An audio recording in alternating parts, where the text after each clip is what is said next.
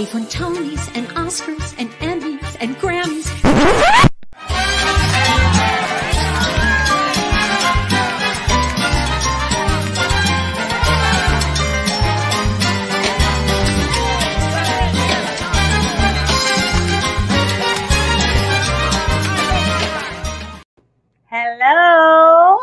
Welcome back to Andrea Mondays, you guys. I missed you very much last week, so thank you for coming back. So excited to have you here tonight. Um, I'm giving you a bold lip because I got a bold musician on tonight. Um, so excited. Uh, we are here, of course, for the Actors Fund. So we have our loyal, diehard, incredible stars in the house, um, diehards who are here every week or every night. And you guys have been so incredible. But we get new viewers um, every show. And I just want to let you all know what this is about. Seth Rudetsky and James Wesley created this series called Stars in the House as soon as the Broadway shutdown happened to raise money for the Actors Fund. And that takes care of anyone you know in the entertainment in, industry. Um, it doesn't have to be performers on stage. It can be people who work backstage. It can be people who are dressers, wardrobe people, wig people, musicians who play in the pit, anyone who is involved in the professional performing arts, not performing arts, all around art an all around entertainment industry. Um, we're here to support them, and your donations have been so kind. And so we do this. We bring you wonderful guests and great entertainment in hopes that you might make a donation. So please, if you're moved tonight, please do donate at starsinthehouse.com or it's right down here. Text Fund 2020 to 56512. And then here's the fun part once you do donate, you'll get a receipt. So if you could forward that receipt, and you can do that to, I think it's Stars in the House, donations at starsinthehouse.com. Got it? So once you get your receipt, you forward it to donations at starsinthehouse.com, and we will give you a little shout out tonight. So please, if you feel it in your heart, give, give, give. There are so many people on Broadway cast albums that uh, could use your help who need insurance right now, who need a paycheck right now, who are taking care of their kids right now. So if Broadway shows have meant something to you, please, um, please find it in your heart to give to the community that has given a lot to you in spirit. Um, so speaking of spirit, um, I have a little ask on Twitter that I do every week. It's in a segment that I like to call. Tell me something I don't know. So, tell me something I don't know. This week, I wanted to know what is lifting your spirits. Obviously, now we're heading into like a whole other season. Summer's starting to wind down. I don't know about you, but I'm starting to go, okay, how's this fall going to work out? What's happening? Parents with kids in school, people going to college. Um, I'm also an educator on the college level. So it's like, how's this all going to look? So, um, I want to know what music, in the spirit of our incredible guest tonight, what music people are listening to to get them through this time. So I went on Twitter and I posed that little question, and uh, I got a lot of answers. But I have to say that I was. Um, I'm giving special preference because of our guest tonight uh, to um, some Heights old pals. Um, Doug the percussionist, our actual percussionist at In the Heights, um, he tweeted that he's listening to Sting, digging into his old stuff. So I guess that's like police stuff. Um, yes, I'm feeling very message in a bottle right now myself. So um, that's a great one. Also, um, we have Vince Fitzgerald, who is like a diehard, wonderful supporter of In the Heights, such a great fan. Um, he actually says Blondie. So now we're like in a whole 70s vibe. Blondie has been on all of my speakers lately. Um, so thanks for that, uh, Vince. And then um, lastly, I have Catherine Goldblum, another diehard Heights fan. She's just been such an incredible fan, has supported so many of us Heights peeps throughout. And um, she says, of course, the one and only Sara Bareilles, um, who, of course, gave you Waitress among so many other spectacular pieces of music that can really get one through the day. Um, so, and she has also collaborated with our guest tonight. Um, this is also very meaningful to me. I feel like I'm going down memory lane because uh, honoring the places that have helped shape me. Last night, I don't know if you tuned in, but there was a special presentation that Stars in the House um, made way for called Moments of the Woods. And uh, it was, thank you, Susan, the best. Thank you so much. Uh, yeah, it was a gala, a fundraiser for um, scholarships for uh, French Woods, which is a performing arts camp in upstate New York. It's where I went. It's where I met Jason Robert Brown um, and Melissa Errico and some and a lot of uh, wonderful Broadway people that you love. And so um, I felt like that place really shaped me. It's where I met my people. I started going at 11. I would go and just die over the fact that there were so many people who were into musical theater like me. So um, that was super exciting. And so that was French Woods. And so there was a salute to French Woods last night. And then um, I grew up in Miami, as some of you know, and I went to the New World School of the Arts. And today, our very special guest is also a graduate of the New World School of the Arts. So we'll be talking about that. That's in Miami. That's a performing arts high school in Miami. So loving that. And um, lastly, I just want to let you all know that we uh, we usually do a, a, a pretty tight hour, but we'll be wrapping up. Um, do our best to wrap up by nine because we are all gearing up to watch the Democratic National Convention this week, and next week will be the Republican National Convention. So please watch both weeks, get informed, and please, please, please vote because history has its eyes on you.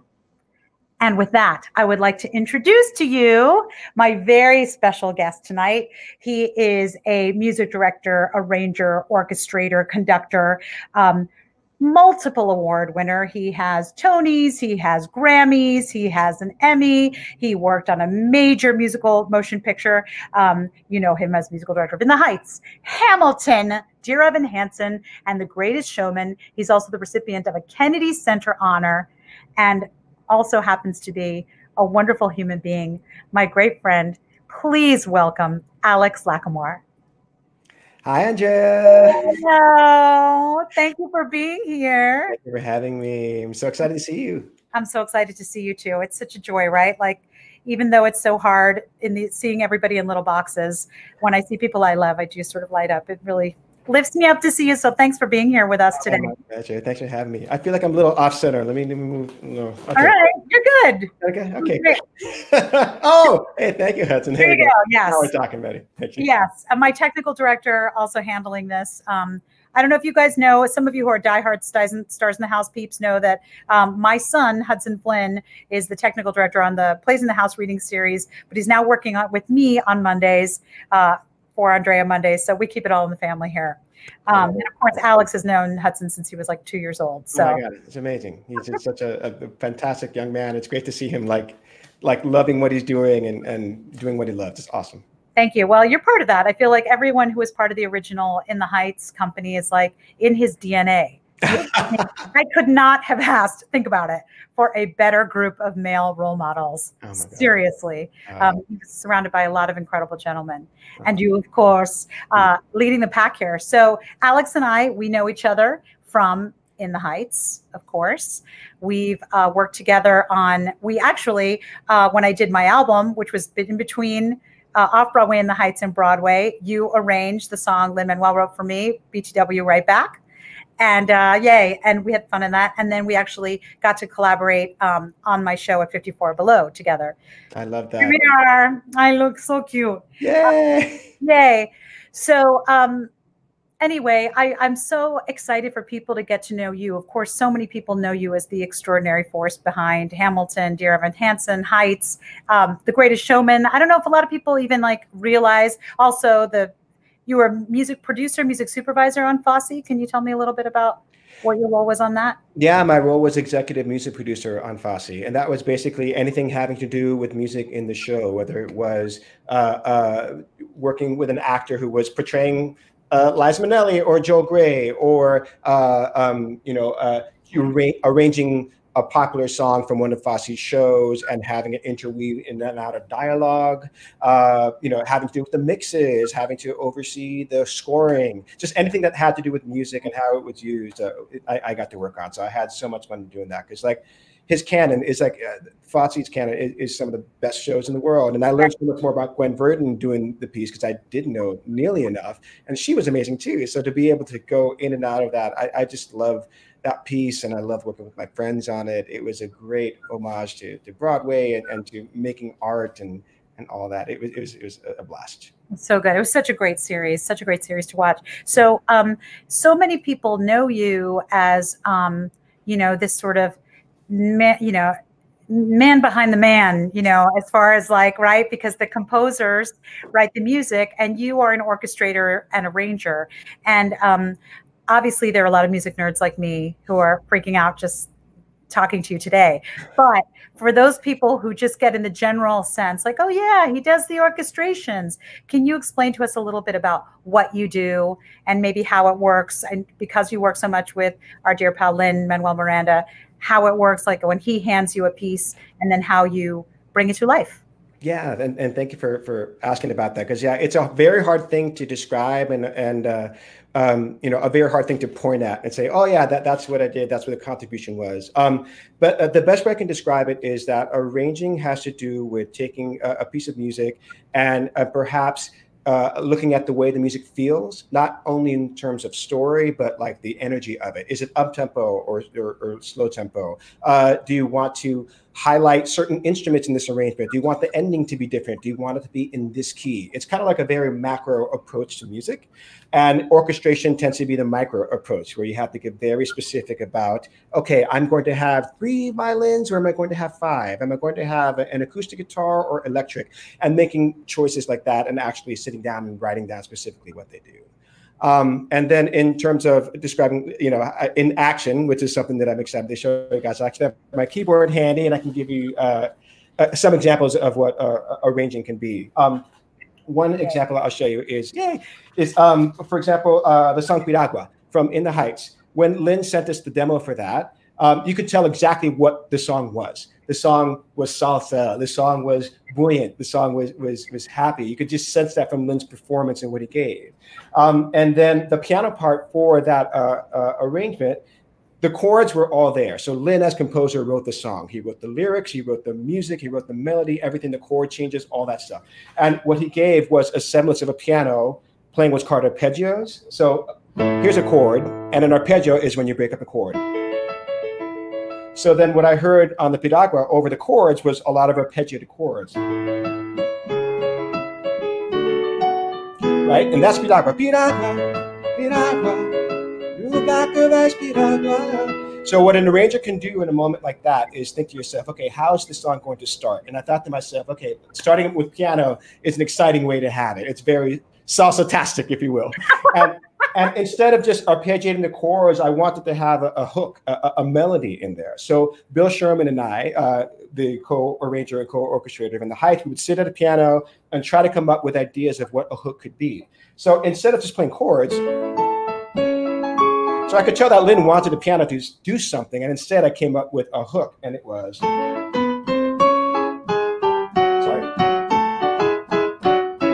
So it's the same chords, but you can see that there's a melody happening within that. Right? That's a question. What's the answer? So you have something going up as a, as okay, where's this going? And it goes down. So there's a little bit of inevitability, right? There's a little bit of, of call and response. There's expectation and, and what that is. So there's a little bit of that keep going.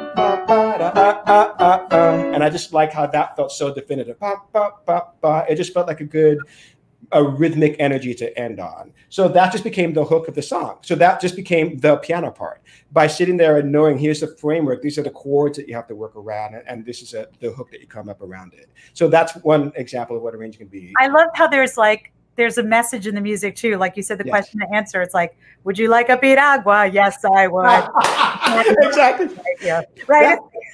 and that's the thing, right? Because what we do in theater, we're storytellers, right? And I've always said I try to storytell in the music. Exactly. I try to have the music be a journey in and of itself, right? Yes. And so you're hearing the story on so many different layers. Exactly. So, so I love that, and, and I love that I get to make a bold choice like that. You know, I love that we get to to do something. You know, I again uh, a, a bold choice being uh, Bill Sherman, who came up with this fantastic line from "It Won't Be Long Now." Classic. That's signature, Bill. Bill Sherman sat down at the piano and came up with what that was, and uh, developed it with Lin and said, "Is this? Is it this? Is it that?" And that became like the signature sound for Vanessa. Yeah. Um, uh, uh, another similar thing is in, um, and we were talking about this earlier. There's an, a, a song from an old workshop of In the Heights that was sung by Lincoln, who was Nina's brother, Yes. who, who wound up getting cut. I know, Lincoln. Yes. God bless So- you, Lincoln. so he, yes, he, so he had a song called Fire Escape. Um, and uh, I remember that there, it was a beautiful song. And uh, it, uh, Nina's song Breathe was actually kind of taken from Fire Escape. So Fire Escape eventually developed to become Breathe. And I remember in the beautiful song, there was a moment in the, the accompaniment where there was this, this space between the vocal.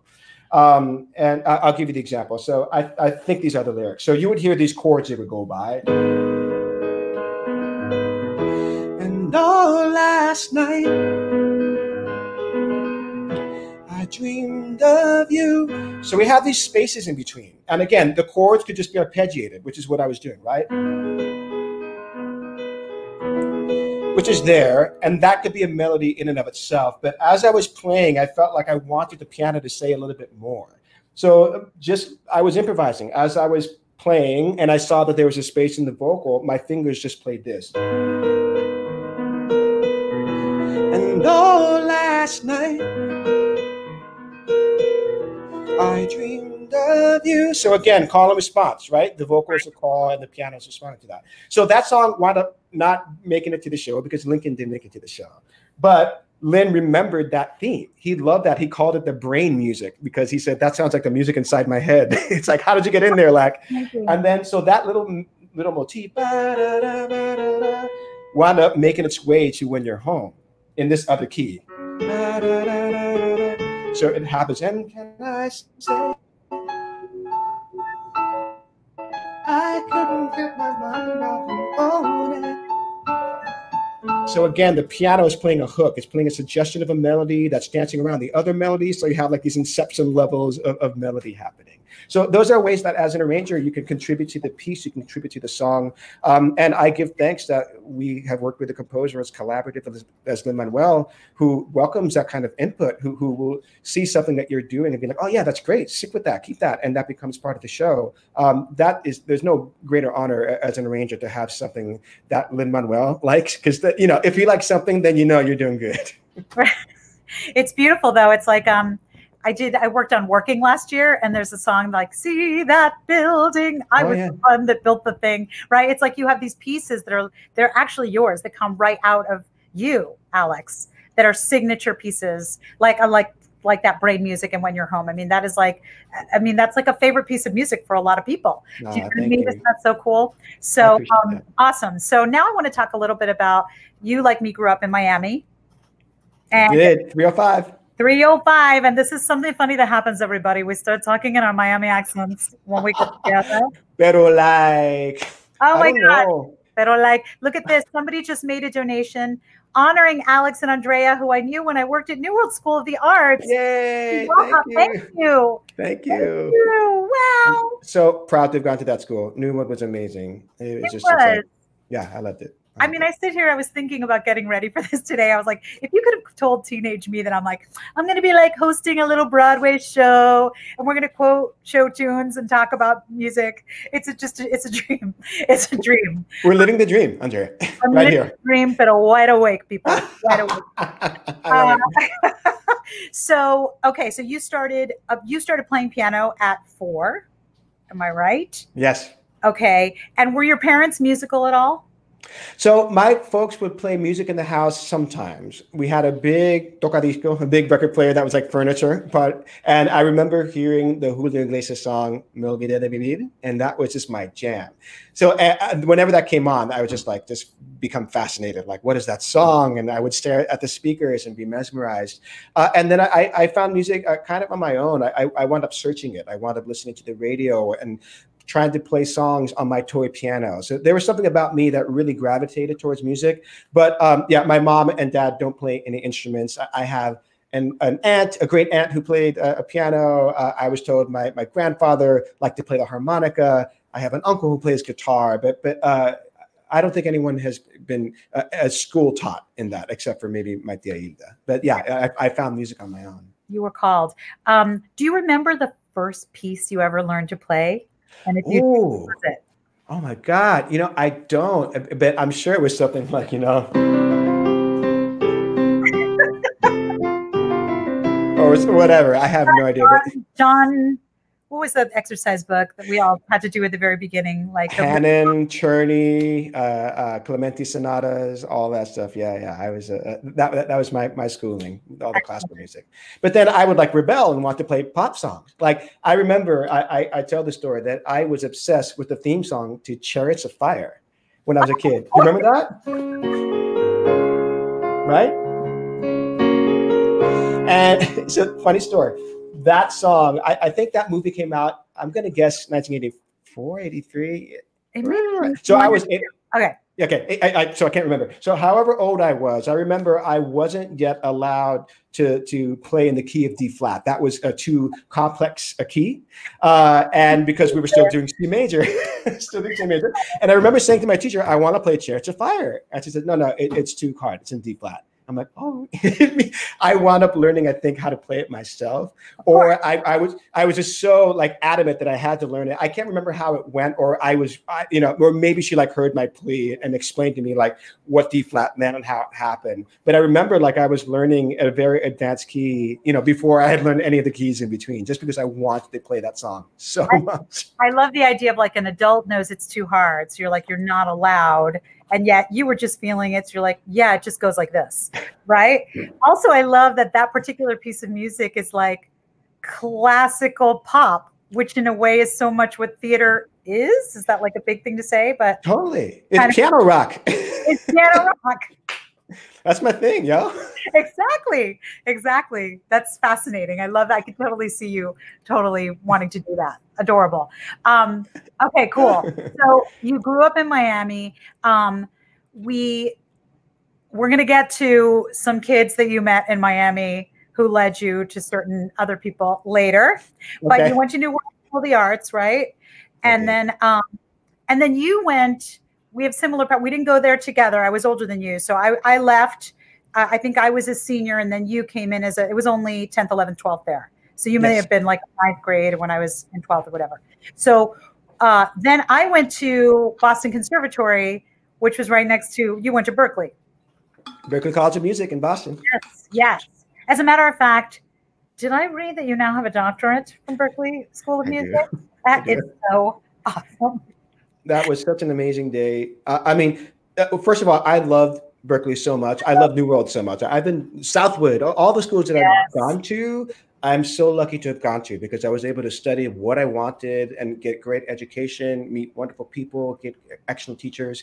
But being at Berklee at that school, because it was the perfect college and university for me, to have gone back and to deliver the, the commencement address, to be given an honorary doctorate, to have a concert the night before where they were honoring the people who were receiving the doctorate, and they had like this whole set of music about shows that had been in. Like it was like a "This Is Your Life" in again, dreaming awake yeah. That was such a proud moment for me because my family was there. Uh, i felt so uh, um, there was a full circle moment to that that was just unlike anything that i'd ever felt because i remember being them. I remember being a student and seeing people who were working in the industry that i loved so much people who, who had, had been successful. I'm like my gosh how, how amazing would that be to be them? And just to be uh, uh on that other side of the table that way. I, I, I can't explain what that felt like but it's truly one of the, the proudest moments of my life that's so beautiful. I, I really do believe. Um, look at this, Robin Kirkpatrick. yes, yes. Um, yeah, the other I love the idea of the full circle moment too, right? Because there's nothing, I'm sure, you know, there's all these incredible things that have happened to you as your career has unfolded that are, you know, pretty above, you know, incredible. But when you're sitting in the same space that you had the dreams in, now and living the dreams and offering the dreams to the next generation. That just must have been very, very powerful. Yeah, um, it was very special. So, question Did you know when you came to New York that you wanted to do theater? Or were you just like, I make music, any kind of music? I love all kinds of music. That's a great question. So, um, around the time I was leaving Berklee, I fancied myself a jazz pianist. What I didn't know then is that I didn't really have what it takes to be a professional jazz pianist. I could play it, I could get around it, but I didn't love the genre so much that I was willing to uh, a dedicate my life to it, or b be able to excel in it in a way to to you know to, to really make a, a, a um, uh, to to do it like properly because I saw so many other people around me who were playing way better than I was, playing circles around me, and mm-hmm. I, I think I kind of knew it then, but I, I really know it now. Um, but yet I thought that I was going to move to New York and call up my jazz friends and be like, "Hey, I'm in the city. Like, do you, do you have a gig? Right, like with the blue note. Yeah, exactly. I'll, I'll, play cocktail piano at a hotel or whatever. You know, uh, uh, maybe there's a trio gig. I'll play jazz standards and and and try to uh, make a living. But uh, fortunately, the work that I had done in Miami, playing in community theater, playing in Southwood, playing in New World School of the Arts, and not only you know studying uh, uh, uh, in the music department, but also playing the shows over at the theater department. That was giving me another education in and of itself. And then once I was leaving Berklee, I was playing lessons for vocal teachers at the Boston Conservatory. So again, I was building repertoire. I was sight reading. I was like learning uh, how to accompany even more. And then once I got to uh, uh, New York, I realized, hey, this is something that I it, can really do. Here's something that people are calling me for. This is something that is helping me make a living. So I, I was very surprised because I did theater because I loved it and I didn't do it thinking to myself, oh, this is what my career is going to be focused on. It really just happened. Doors opened for me. I walked through them. People were saying, hey, come along. And I went with them. And it just led from one thing to the other and introduced me to the, the people who would introduce me to the next person. It was all just a, an amazing network um, that just came about in a way that I did not see coming. And I'm, I'm, just very grateful for it. That's incredible. So that does trace back to Miami when you used to play for high school students that needed your help. And so, can you talk about a couple of the high school students that uh, you used to play for? Yeah, so I would play for Janet Dacal. I would play for Henry Gainza. Uh, Janet, and who else? Uh, I mean, what's Heights, that? No, I'm just saying Janet yeah, Call, Original Carlin yes. in the Heights, Star of Wonderland. Uh, yes. You know, um, yeah. Prince of Broadway, lots of things. And Henry Gainza, who not only I did on your feet with, but was uh, in the early readings, the actual ill-fated Lincoln played Lincoln and in the Heights. However, yeah. they were high school students, and from what I hear, like it was like, oh, I need to, I need to get this song on tape. I need to sing it. Janet would be like, I need a song, and he would say, oh, I know this guy who can sight read. He could just put it on tape. Let's go to his house and do it. Is that how it went? That was my thing. Yeah. And, and also, I would transcribe pieces as well. I remember being in, in uh, New World and someone wanted to sing I Know Things Now from Into the Woods, and the sheet music wasn't available for that song. and so I'm here, like, on my upright piano, like trying to plunk out I Know Things Now, trying to figure out how to notate Sondheim by ear yeah, but I loved you're not it. transcribing like you're not transcribing like send in the clowns. oh, yeah, let me see if I could do I know things now from Into the Woods in a different key with my little pencil here. That is ridiculous. And I'm also so upset there was that little brief uh time that we didn't overlap at New World because I would have kept you very busy. I know. I wish we could have met back then, but I'm, I'm glad we met when we met. That's right. That's right. The okay. universe. Incredible. The universe. So now, uh, so now you you're in New York and right, you're thinking you're going to be a jazz guy, but now you're doing all this theater stuff, and somebody uh, somebody introduces you, or you get an opportunity to play for Stephen Schwartz. Is that correct? Yeah, yeah. So what happened was is I uh, was playing a lot of auditions for uh, Bernie Telsey and Company, and uh, they were holding auditions for Working at the Long Wharf Theater in New Haven. And no one had told me that Stephen Schwartz was going to be there at the audition. I was just showing up as the audition pianist. I'm like, oh yeah, working. I know working. I know all those songs, no problem. And then you know, uh, and uh, mind you, I had idolized Stephen Schwartz. Like I was a Pippin fanatic. Like I would probably play through the entire vocal selections of Pippin nightly when I came home from school. Singing every song. I was obsessed with it because that then led me to Godspell. That then led me to Baker's Wife. So I was a huge, huge, huge fan. I would stare at the picture of him at the back of the vocal selections and read about how he was 24 years old when Pippin came out and be like, wow, how cool that there's rock on Broadway and this young guy was able to make it happen. And, and, and, and, and it, that I just loved it. So anyway, I'm, I'm getting ready for the auditions to start. Stephen Schwartz walk in, walks in. I'm super nervous. I'm freaking out because um, I just want to do a good job. It's like my right. hero. I was just sitting there behind the table. And then after the third auditioner came in, you know, because I was accompanying the actors coming into audition for the show. After the third person had left the room, Stephen Schwartz said to me, Alex, you, you play the piano really well. I'd love to get your card. I'm like, ah. so I'm, here's my card, Mr. Schwartz. You know, I'm just like totally like beside myself. And after the fifth person had left the room for the audition, the music director, Danny Costrian, sat next to me at the piano bench and said, I need an assistant music director. What are you doing in February? And this was like, you know, that was a month later.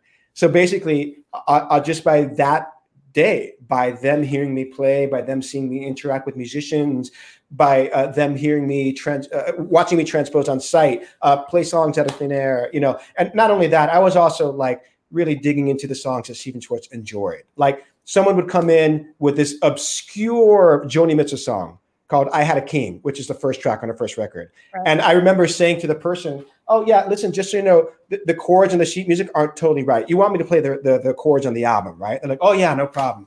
So I would just like just start playing this song that like was totally like Stephen Schwartz's like bag. He loved that stuff. So we just had an instant connection, and um and, and I uh, I'll never forget this. This is something that made me feel really good. Someone had came in and said, "Hey, I can either sing Everybody Says Don't, or I could sing whatever song B."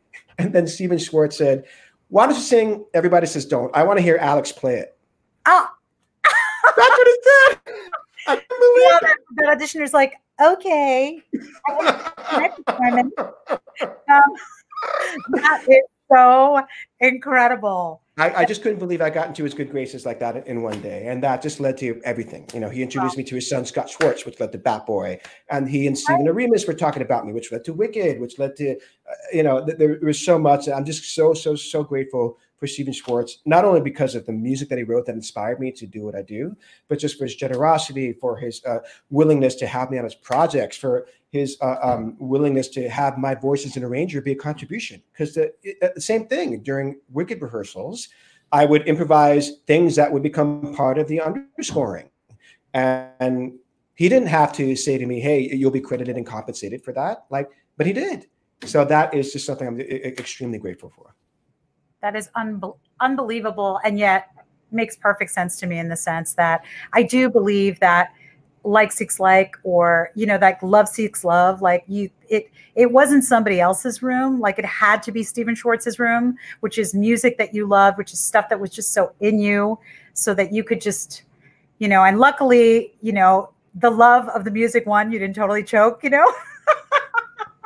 Because that's too right? Like oh my god he's here. I can't play. Oh my god right but I was I was ready for the moment. I, I guess there was something about it. Like as I said earlier, the door opened and I was ready to walk through it because of whatever in my life had uh, happened and had led me to that moment. All the preparation, all the years, all all the experiences, such that when the moment came, I, I could deliver as best I could at that moment. So it, it's all you know. It, it's synergy, it's fate, it's timing, it's luck, it's hard work. It, who knows what it is? But but all I know is that I'm just just grateful. Grateful. Oh, incredible. Um fun facts. Danny Costrian went to French Woods with me. Yes. Donations made. Oh, thank you. Thank, thank you. Little Cup Spirit. Thank you so much. Thank um, you. Oh my gosh. Lorna. Hi, Lorna. Aww. Thank you. Thank you. Beautiful director, choreographer, Lorna. Thank Love you. you. Thank you. Um, yeah, Danny and I, Danny went to French Woods when I was there. And also um, my cousin, Gavin DeGraw, was in that production of Morgan. That's right. I forgot you guys I saw that production. So was that interest? So I'm just trying to now I'm doing the timeline because didn't Lin write for that as well for that? Part? Oh, yeah. So the production that I did was 1999, right? At the Long Wharf in New Haven, right? Which I saw. And yes, and then Lin wrote songs, new songs for Working. I'm going to say in 2008, nine, somewhere around then, and that's the new production that that's out and available. Correct. Okay, sorry, I got mine. I think that was like at the Asolo Theater or something like that later. Think so. Um, Okay, cool, cool, cool. Um, excellent. So let's talk about heights. Let's talk about. So you meet Lin. So interestingly enough, who introduces you to Lin? Let's start there. So uh, uh, it was a, a bunch of people, but I, I credit uh, uh, Janet and Henry uh, for saying to Lin, "Hey, I know this guy from Miami. He's an arranger. He's Cuban. He's a music director, et cetera, et cetera." But also, I do remember the first person who put me in touch with Lin was Kevin McCollum, the producer. So it was a mixture of people from different areas kind of converging. Because the first time I talked to Lin, I was working on Wicked and didn't have uh, the, the space in my schedule to be able to work and develop in the Heights. So it all happened when it was supposed to happen. So uh, I, it all uh, there was a, a, an amazing confluence of events, kind of leading me to to the right people. Incredible. And also, what I love is didn't Janet and Henry, who had something to do with introducing you to Lin, also introduce you to your wife? Did, did Yes. this set up your life for you? Oh, Or pretty much, exactly right. We were just talking about it because on August 11th, 2008, Henry had a show at Birdland. Uh, Henry Gainza, and the show was called Extravaganza. and uh, Ileana and Ileana and I separately went to this performance, and we met because we were both standing in line waiting to congratulate Henry on his performance. Ileana was in front of me. Someone cut in line in front of her right before she was going to uh, say hello to Henry. So she turns around to the person behind her in line, which is me, saying, Hey, can you believe this guy just cut in front of me? What, what happened?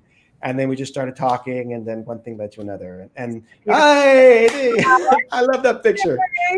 And you know, it's one of these things where if it wasn't for the vouching that our friends have done for us, the fact that Andy Senor, Henry Gainza, and Janet Dacal, all friends of us separately, and all Cuban friends were able to say to us, you know, to say to me, "Hey, Ileana's a person; she's the one for you," and we're able to say to Ileana, "Oh my God, Alex, she's the one for you."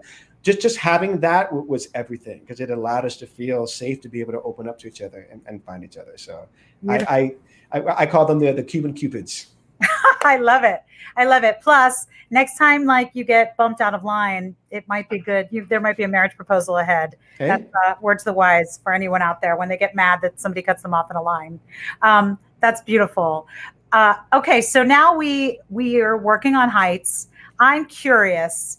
I mean, I know what my experience was um, coming into heights, and for me, I think it was 2004 uh, December of 2004, there was a reading of the first act that was that was the first time I was involved with it, and I was honestly, I just I just had never heard something like that. Not only so fresh because it had the the you know the integration of hip hop and Broadway and Latin music, but the, with, there was such authentic Latin music that I recognized right from my childhood on the Broadway. When growing up in Miami, those seemed to be two very different worlds to me. So how did how did you feel when Lin first handed it to you?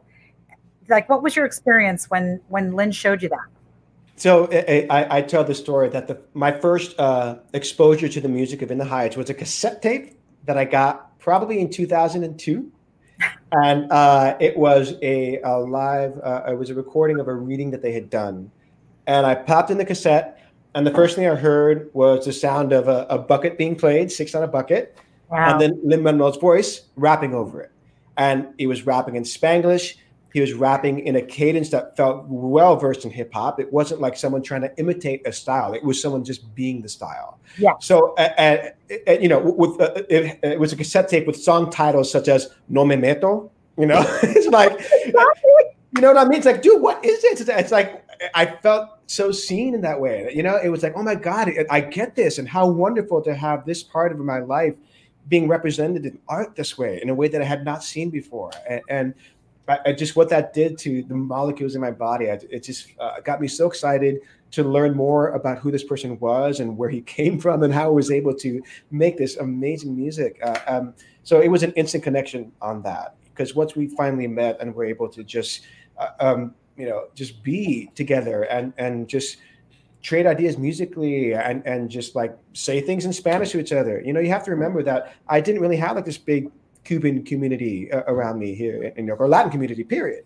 Right. Um, and Right. I often say to people, yes, I grew up in Miami where there's like Latinos all over the place. But I tell you, I didn't feel so proud uh, sorry, I didn't feel as proud to be Latino as I was when I left home. Once I got to Berklee and I had that that community wasn't around me, I, I longed to be able to speak Spanish to people you know? And i'd long to be able to see someone from from mexico and just start talking to them in spanish in the cafeteria and strike up a conversation you know? And so just being able to have that felt so wonderful to, to have a, a kindred spirit in that way. And yeah the, the rest is history. But yeah it, it was an, an instant connection there. So many of us first generation kids like we we have a leg in both worlds right? Because we're very much you know um kids of the pop culture and like you know we're listening to whatever on the radio or like if you were a total nerd like me you're listening to like sondheim driving you're like singing the opening number of company in your car on the 836 but um right um but like you're listening to i know like radiohead was somewhat something you loved and like you know we're just listening to whatever our things are. Janet jackson like just you know enjoying whatever.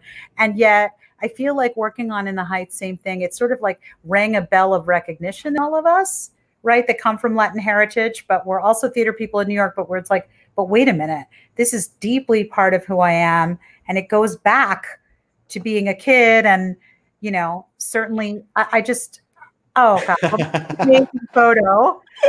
I love that photo this is a beautiful example right here, you guys, of the collaboration between Alex and Lin. This is the first time we heard um, like the climax of 96,000 at the Sitzprobe orchestra rehearsal. And uh, you see the joy that erupted. I mean, what, what was that moment like for you sharing it with him for the first time? And that was superb. Uh, because uh, as you saw from that picture uh, what, what, what you can't see from the picture is uh, um, the band was in a semicircle facing the cast and the cast was in another semicircle facing the band. Um, so we were all sharing the stage. And uh, i have like a couple of distinct memories from that Sitzprobe one of them is you know because the Sitzprobe is the first time folks get to hear the orchestrations for the first time and hear the band which up until that moment had been mostly piano and percussion because that was all we had in rehearsal. So right from the beginning the song started the same because we had the clave in rehearsal, we had uh, the, the, the band playing, but once the horn started playing, everyone started cheering. And that happened within the first like 16 measures of the of the song, and everyone was like, ah! So I remember, yeah, exactly. So that was a, that was an amazing feeling. And then we get to 96,000, and as you know, the way that song builds, when you get to that you know, the, like the Tonight Quintet moment where everyone's just singing their, their individual lines. Yeah. And then it, it, erupts in that deep reggaeton group, bah, bah, bah, bah, wow. Like I got out from behind the keyboard because everybody was dancing, everybody was enjoying it. And I just felt so like moved. And so I, I, I felt like I was going to burst first. I just had to get up from behind the piano and just start dancing in the middle of the room with everybody. And then I just grabbed Lin Manuel's hand and we just started doing a do si do. And then that picture was snapped. But it was really, uh, um, you know, it, it's, I can't explain it other than just something. You, you, know, I have a very visceral reaction to music, and as you know from the way I play, like my body moves, and if I hear something that I like, my head goes back, and I I say things like "woo" when something cool happens. I have a very physical uh, reaction to music, and that moment when that happened, I just felt so. I, I, felt like my heart was going to just like leap out of my chest. I just felt so. Uh, um, I just had to move. I just had to like. I it, it was explosive, just the energy in the room, and I'll never forget that moment. Well, I think it's also like the culmination of like what you're about to give the world. You know, I, I know that that having been part of Heights, I mean, I can only imagine what the whole, then the whole next chapter of what Hamilton was for all of you. But the actual, I don't think I'll ever get over the gift of actually giving you and Alex to the world. Do you know what I mean? Like, like knowing there was an audience that didn't even know. I said you and Alex, you and Lin. I, I kind of know what you meant. I'm like, I, I was trying to piece it together. Yeah, I, I, think I know what you meant. What? But they, like you, you and Lin, like you know, serving it to the world. It's like we were that's where they're not ready came. We just we were all your first audience. And we are like, oh my God, like they're not even ready. The audience doesn't even know what they're about to hear. And that was just a great privilege to be able to midwife that. Do you know what I mean? I love it. And that's a great, great way to express it. Because again, that's why I love theater so much. It's about the collaboration, right? Uh, we can't do it by ourselves, right? Uh, um, we need the people around us to create it, right? As an arranger orchestrator, I can't sit by myself in a room and, and, just have it happen. I need the musicians to bring it to life. We need the actors to sing it, right? We need the lighting designers to light it. We need the uh, uh, uh everything to come together to create what it is. And I just love that theater is able to celebrate everyone's strengths in that way to create a, a, product that would not exist were it not for the convergence of all these people coming together. And that that's why I'm so grateful for the amazing crew that we had, the amazing cast that we had, and and it just we all love that piece so much. And that love stems from the top down. You know, it, like Lin created that piece with love, Quiara created it with love, and that just kind of permeated through everything else that that that piece touched. So we're, we're all so grateful and very very blessed to be able, yes. to, to have been a part of that. Agreed. Um, okay, so we're going to do a little a little deep dive now okay. into. Um, I want to know. So you go, you do Heights, you move, move on to Hamilton. Those of you who die hard Broadway fans, you know the whole story. The you know going to the White House, the you know the, and then of course the show opens all the accolades, the meteoric rise for everyone. Um, I would like to know because you were already an award-winning musical director already. Like you'd had your first big Tony win for Heights, and you move into Hamilton, which just was this juggernaut, just beyond what anybody, I think, you know, maybe Lin because he dreamed so big, but you know, it's like beyond anybody's wildest dreams. And so, I'd love to know how how that changed your life in personal ways, like how you handled. You became like the most in demand musical director in the world. And I'm sure all those things came at once. And as all artists say, like, why, where were you when I was, you know, when I needed that job 10 years ago or whatever? How did you handle the avalanche of opportunity and attention that came your way after? You know, I, um, what I'll say is that what I loved about those of us who worked on Hamilton, and the same thing happened in Heights, is we just loved the piece so much. And, and at the end of the day, all we wanted to do was to serve the piece and serve the story. And that's all that it ever was about. So for me, I never really, um, even though I saw it happening, right, the, the, success that the show was having and, and then the impact that the show was having, I, I was aware of it. But I was also just trying to uh, uh do my job. You know, I was just trying to come to the theater and perform the show and make sure the quality w- was at a high level. Try to make the best cast album we can. Uh, you know, uh, overseeing uh, uh, opportunities that came our way for whether we were performing on the Tonys or performing on the Grammys, whatever that was. So all this to say that all I ever cared about is, just making my contribution the best that it could be and caring for the piece as a music director, right? And uh, you use the word as midwife, you know, as the executor of the music, just wanting it to to um, just putting as much care into every facet of it as I was putting when we were just creating it in rehearsals and tech and previews and what have you. Um, so I, I, still love the piece so deeply, and, and I still love my collaborators so deeply. So it was really just always about that. It was all about wanting to continue to uphold this thing that we built and, and wanting to keep the, the, the quality at a high level and connecting with each other and talking to each other. So all this to say that, that that's what my focus was, and that's what I always try to to, to look towards. Because the rest of the stuff you can't control. People are going to say what they're going to want. You know, people are going to react how, how they're going to react at the end of the day, what is what are the things that you can control? And what I felt like I could control is what my contribution was, and and and uh, uh, um, how I cared for the piece, and, and the rest would just handle itself. Mm-hmm. I've heard you say that, well, because the composition is the master plan, and then you build all around that. So, how were you an orchestrator in your life? Wow. composition and what's the orchestration? So the orchestration for me is the meticulous planning. Like, you know, if I'm going on vacation, trying to figure out, okay, how many days are we going to stay in this place and what are the dinners that we're going to have and what are the activities we're going to try to be ready for, you know, making sure that everything is in line, everything's in place. You know, it's um because orchestration is such detailed work, right? You have to be very meticulous. You have to cross your T's and dot your I's. It's really um, the way the plan gets executed. So, you know, uh, it, it's not unlike uh, watching to get a really great uh, domino chain happening, where just everything is just just in place, so that all you have to do is just press that one domino, and then everything just kind of follows suit. So, I, I think I try to orchestrate in trying to just make sure that the outcome is uh, goes as as much according to plan as possible. Nice. Um, I have a question also about actually when you went to the White House with Lin. It was the first time that um, Lin was invited there. It was pre Hamilton production. It was something called the Hamilton mixtape. A lot of you fans know about it. And you had to build this piano composition around Lin's rap, right? Um, and uh, the way you formed it, you said something so cool. Well, first, I want to know when you have the all those instruments in your head, like how do you resist a how do you resist not why would why would why would you do why wouldn't you do five violins instead of three violins? Or how do you resist saturating the whole um, the whole piece? Because i would just want to go crazy. Got it. Um, yeah you know i, I think uh, it's knowing that if you have a color palette if you use all those colors at once you're not going to know where to look.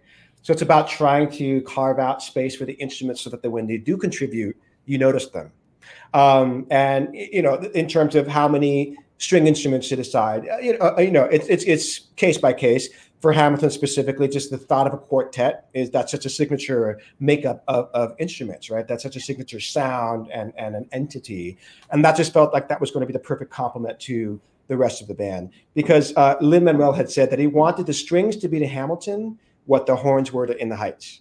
Ah, so once explained that, I knew exactly. I'm like, all right, I got you, I got you. So then that helped uh, know what that sound needed to be. So I knew I needed a big, strong foundation from the string section that could hold its own and and be a, a, a um, you know a, a, a, strong presence in and of itself. So that just felt like the right makeup.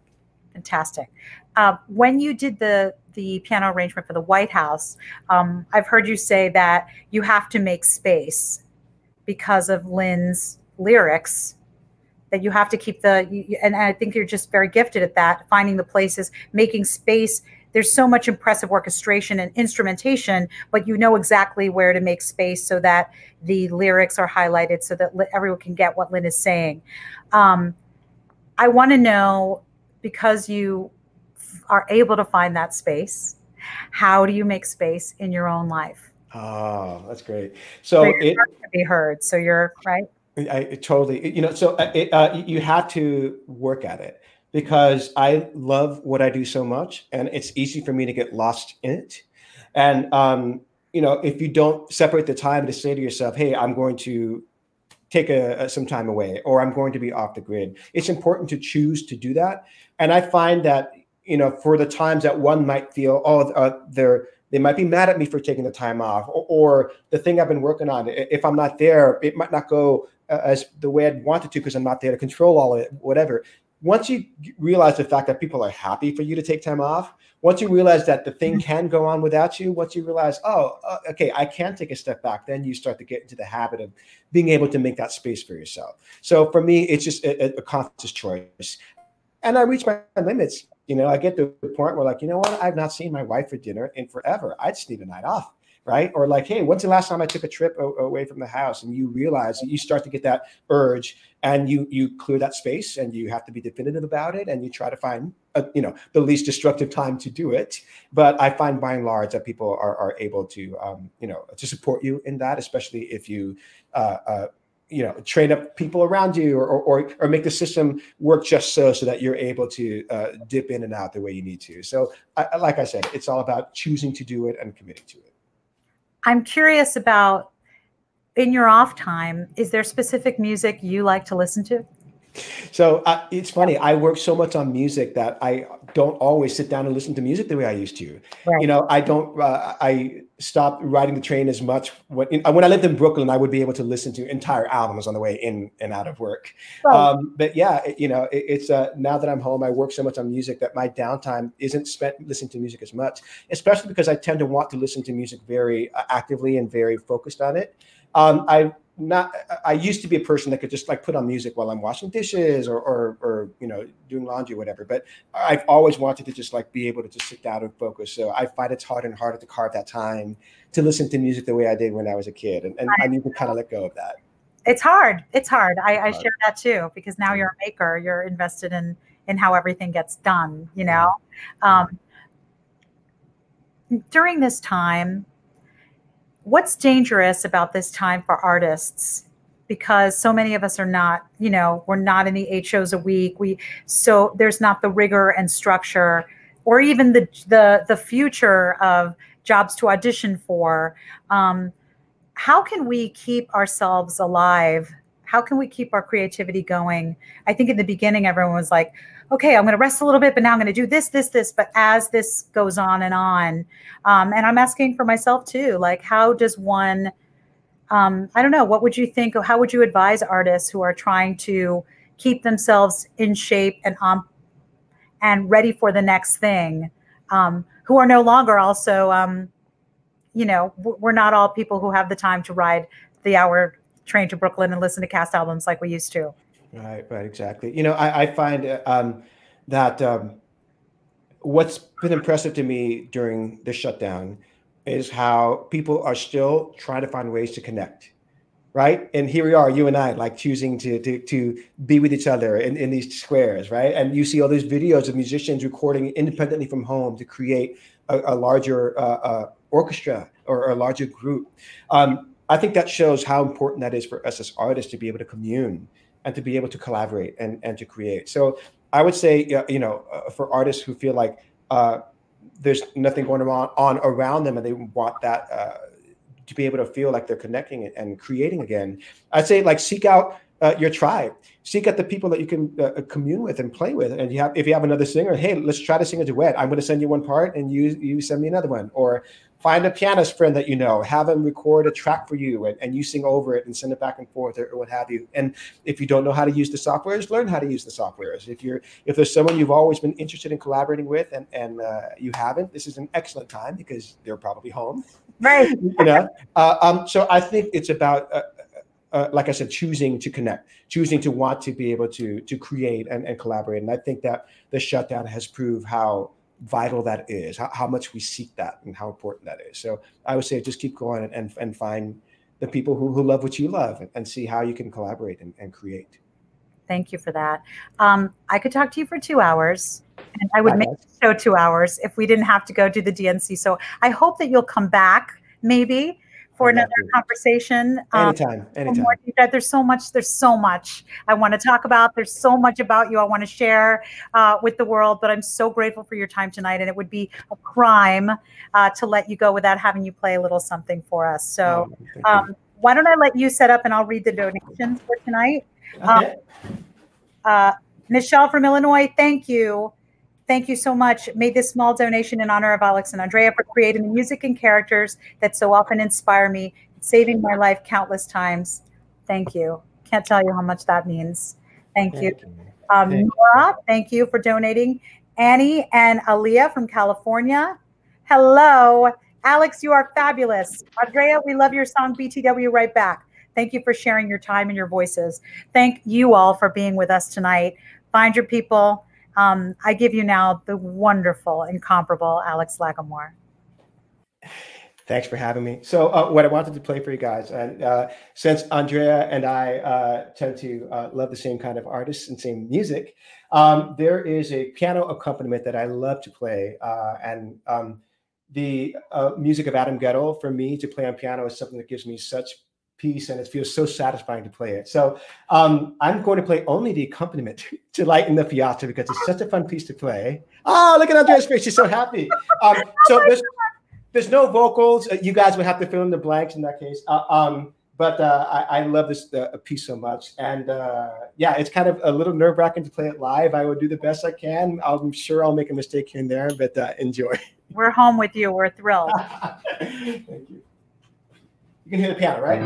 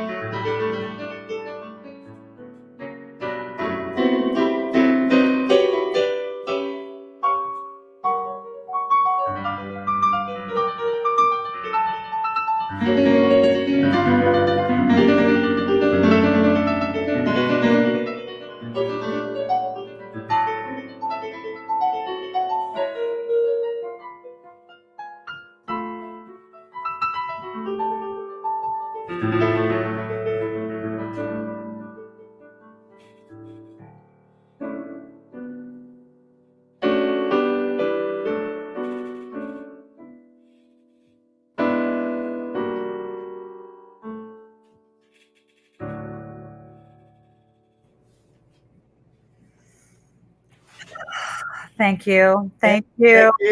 Oh my gosh. I almost made it without a mistake. I made that one little cluck right Oh now. my gosh, please. No. This is the joy. This is the joy of this. We get to be at home with you. We get to see you in your imperfect perfection. Thank you so much. Thank you. Thank you for that. Thank Um, you. I was going to end with the question, what inspires you? But I think we know, you know, wow. And that inspired me. And I hope we inspired you. Thank you so much for joining us tonight. Thank you, Alex Lacamoire. Thank you, Seth and James. Um, remember to vote, watch your shows, and uh, love you, Alex. Thank you. Have a great night, everybody.